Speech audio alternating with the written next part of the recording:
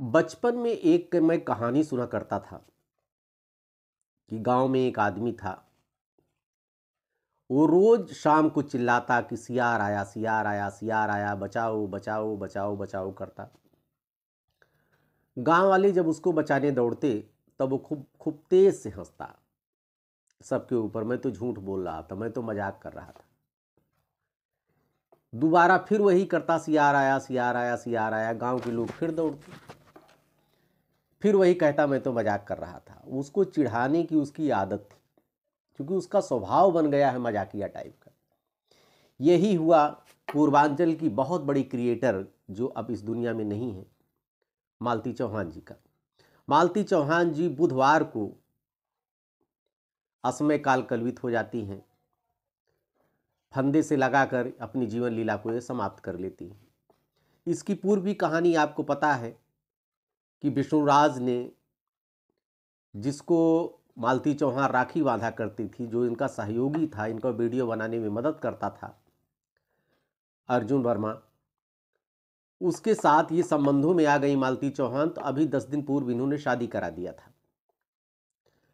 और तो लोग कह रहे थे कि ये व्यूज़ बढ़ाने के लिए, चर्चा में आने के लिए, वीडियो चलने के लिए सब नौटंकी कर रही हैं। लोग बहुत गंभीरता से नहीं ले रहे थे। तमाम वीडियो मैंने देखा तमाम यूट्यूबरों का ये कह रहे थे कि व्यूज़ बढ़ाने के लिए नाटक किया जा रहा है। चूँकि जितने इनके कंटेंट भी हुआ करते थे, इसी तरह के होते थे। कभी विष्णुराज मर जाता था, अरे चिता सजाई जाती थी, और उसके बाद चिल्लाती थी, मर गया, मेरा सुहाग उमड़, उजड़ गया, ये हो गया, वो हो गया, मालती चौहान चिल्लाती थी। अभी कभी मालती चौहान मर जाती थी, चिता सजाई जाती थी।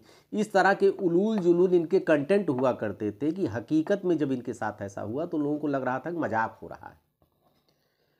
वैसे ही जब अर्जुन वर्मा से शादी कराई इन्होंने विष्णुराज ने, मालती चौहान की, लोगों को लगा कि मज़ाक हो रहा है। विष्णु वर्मा अर्जुन लेकर निकल गया हनीपून पे। दस दिन रहा जब उसका मन भर गया। तो उसके बाद जब प्रेम का भूत जो था, वो ख़त्म जो सवार था सर पे, वो समाप्त हो गया।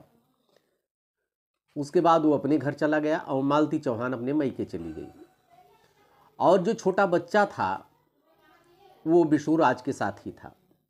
यहाँ पर विष्णुराज को लोग बड़ा महान, हम दिल दे चुके सनम एक फ़िल्म जो आई थी बहुत पहले, उसी का पात्र इनको मांग मान रहे थे सलमान खान की तरह। लेकिन उसके बाद में जब राज खुलता है कि ये जितनी इन लोगों की नौटंकी थी, जो इनके कंटेंट थे, वही इनके लिए घातक हो गए। एक घट, अभी ये मित्रों, पर पहले बता दूँ कि कोई भी घटना घटित तो होती है तो ये एक दिन की परिणित नहीं होती है। तो चार दस दिन की परिणित नहीं होती है। सालों साल साल छः महीना, दो साल का जो घटनाक्रम होता है, उसके लिए उत्तरदायी होता है। अभी दो हफ़्ते पहले, दो तीन हफ़्ते पहले, दो तीन हफ़्ते पहले मालती चौहान गई थी। तहरीर दिया था उसने कि हमारा पति हमको परेशान करता है, मारता पिट रहा है विष्णुराज के ऊपर। और जो अर्जुन वर्मा मेरा सहयोगी है, वीडियो बनाने में मेरा सहयोग करता है, उसको लेकर उलूल जुलूल बातें किया करता है कि उसके सारे संबंधों में है, ये है, वो है। विष्णु राज के ऊपर उसने आरोप लगाया था तो जैसा पुलिस करती है, और इनका कंटेंट भी चूँकि मजाकिया टाइप का हुआ करता था, इसलिए उन लोगों को विश्वास बहुत कम होता था। हालाँकि पुलिस ने अपना काम किया, दोनों को बुलाया थाने में। दोनों को समझाया बुझाया गया। एक सौ इक्यावन के तहत दोनों लोगों का चालान किया गया। चालान में एक सौ इक्यावन चूँकि धारा इतनी तगड़ी नहीं होती है।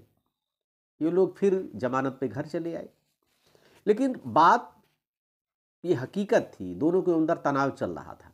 उसकी परिणित ये हो गई कि जब अर्जुन वर्मा मालती चौहान को लेकर फरार हो गया इसके बाद ये होता है कि मालती चौहान अपने मैके चली आती है और विष्णुराज जाता है उसको लेने। और विष्णुराज लेकर जाता है, अपनी पत्नी को लेकर आता है कि दो तीन दिन बाद पता लगता है ये घटनाक्रम घटित हो जाता है। और मालती चौहान की सास अपने बेटे का बचाव किया। उनका कहना है कि सुबह में गई कमरे में देखा, चूँकि नाती मेरे पास था, जो बच्चा युवराज था। मैं गई, मैंने किवाड़ा झाँक कर देखा तो ये घट, देखा कि उसका जो है फंदे से लटकी हुई है। उसकी जीवन लीला समाप्त हो गई। चूँकि मेरा बेटा बाहर था, गोरखपुर में, दूसरे स्टूडियो पर था, अपने बच्चे का, अपने बेटे का उन्होंने बचाव किया है। मालती के पिता दीपचंद ने जो तहरीर दिया है, उन्होंने कहा कि पाँच साल पूर्व विष्णुराज से मैंने अपनी बेटी की शादी किया था और बराबर मेरी बेटी को वो परेशान करता रहता था। और पर उसका कारण जो बता रहे हैं कि दो लाख रुपए दहेज में माँगता था, बुलेट मोटरसाइकिल माँगता था, जो बात गले नहीं उतर रही। क्योंकि जब इनके पास इतना सब कुछ हो गया था, धन समृद्धि हो गई थी, मकान हो गया था, गाड़ी हो गई थी, बुलेट हो गई थी, इतना ऐशो आराम की ज़िंदगी जी रहे थे तो दो लाख रुपए दहेज और बुलेट के लिए आखिर वो क्यों परेशान करते? और ये भी बात गले से नहीं उतर रही कि विष्णुराज को अगर मान लिया जाए इसमें दोषी तो कैसे माना जाए जो उसने खुद शादी कराया था।